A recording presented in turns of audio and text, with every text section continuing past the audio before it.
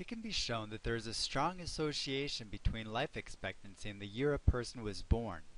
In the table below, the year and life expectancy from several years are given. Use the data and the regression capabilities of your graphing calculator to find the best fit linear model for the data. Then use the model to predict the life expectancy in the year 2020. Let the independent variable x represent years since 1900. Let's first of all add a row to our table that indicates the values of x that correspond to the given years. x represents the number of years since 1900. 1900 is zero years since 1900. 1920 is 20 years since 1900. 1940 is 40 years since 1900. 1960 is 60 years since 1900. And 1980 is 80 years since 1900. Now we're ready to enter the data into our graphing calculator.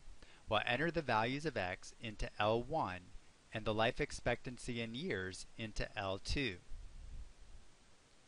First of all, go to Stat and then select number 1, Edit. Enter the x values into L1 and the corresponding life expectancies into L2. Now that we've entered our data, let's make a scatter plot. We'll need to go to second y equals, which is stat plot. Press enter to select number 1. Turn plot 1 on. Make sure that the first type, scatter plot, is selected, that the X list is L1, and that the Y list is L2. Then go to Zoom and select Zoom Stat.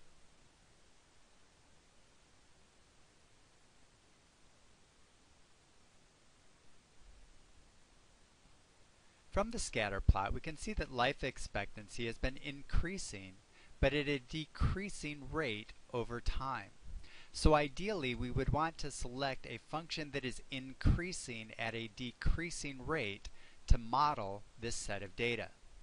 However, we see from our answer choices that the author intends for us to use a linear model.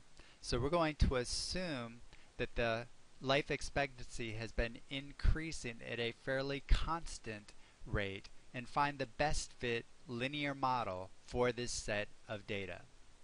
To do that, we'll need to quit and go to the home screen. So press second and then mode, which is quit. Then go to stat, use your right arrow key to move over to calculate, and select linear regression, which is number 4 The first thing we need to do is to let the calculator know where we entered our input. We entered the input into L1. So we enter second number 1, which is L1. And then comma, we need to let the calculator know where we stored our output. We stored it in L2. So we press second number 2, which is L2, and then comma. And then finally, we want to see how well the linear model fits the data.